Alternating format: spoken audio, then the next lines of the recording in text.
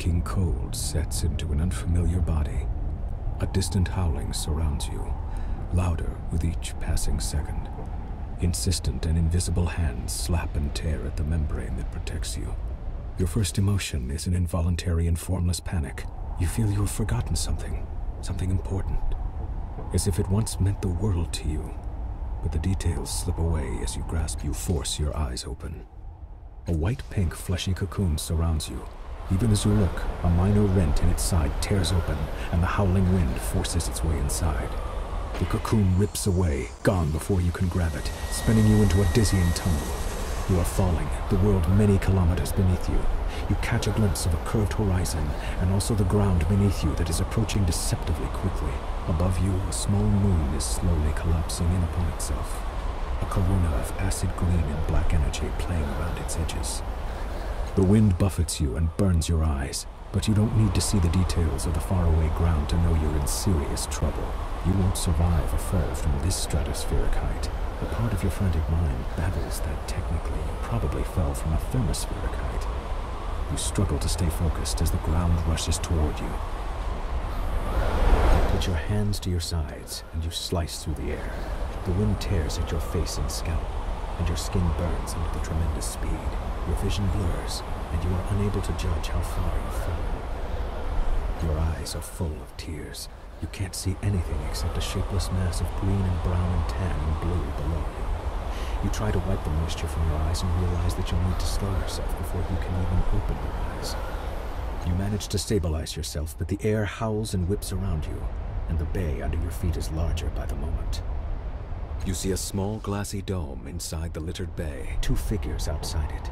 One of them points his arm at you and a riot of colors tangles your fall, slowing you, but not enough. You crash into the building, and as your consciousness winks out, you hear the sounds of the structure collapsing around you, and darkness.